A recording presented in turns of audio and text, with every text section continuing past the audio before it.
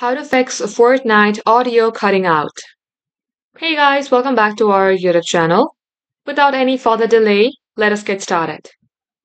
So first thing first, come below at your search bar, then type in Task Manager. Open your Task Manager. From here, click on to Details. Then here you will see Fortnite Launcher and Fortnite Client. Come into Client, right click onto it, then set the priority to high. Do the same for your Fortnite launcher as well.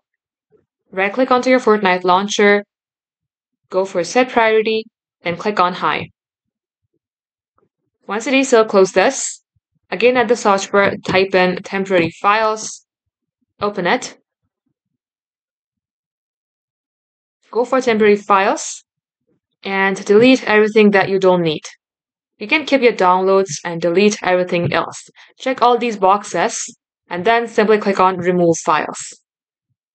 Now once you have done that, come at the search bar again and type in graphic settings. You will see graphic settings here, open it.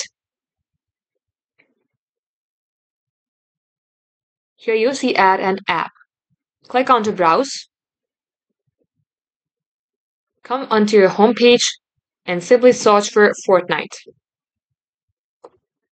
You will see your Fortnite here, click onto it, then click on Add.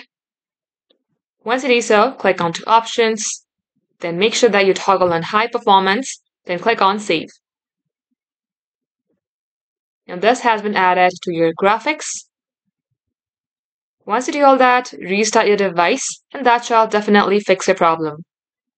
Thank you for watching the video till the very end. If it had helped you in any ways, then don't forget to like and subscribe.